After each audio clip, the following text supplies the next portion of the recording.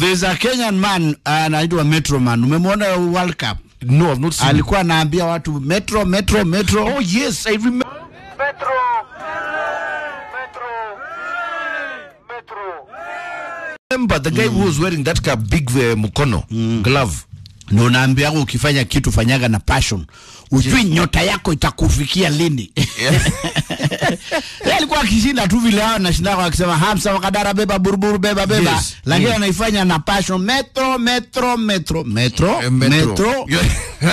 Na unajua kibarua yake ilikuwa iku- ikuisha after World Cup. Yes. Juu ni kudirect watu kwa metro, mtu tu train ndio Yes, kwenda chini. I know them. Sasa ameongezwa from 30,000 to 120,000 na amepewa 2 years na amekutana mpaka na president huyo maisha yake yamebadilika.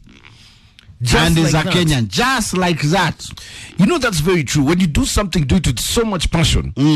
Hata kama eh, marupurupu ni kidogo. Yes. Wezi jua. Eka roho hapo.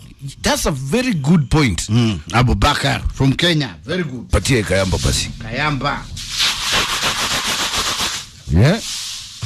Do everything that you are doing with passion because you never know mm. where your blessing lies. You never know who's watching. Yes. Hmm. It's a good message for today.